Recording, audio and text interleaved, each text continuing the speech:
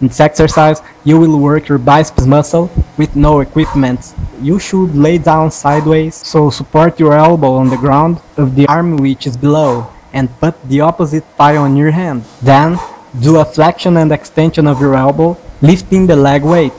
Make the maximum contraction of your biceps muscle. Push your elbow against the floor to pull the movement. When you take down your leg, keep your foot elevated to not hit it on the floor.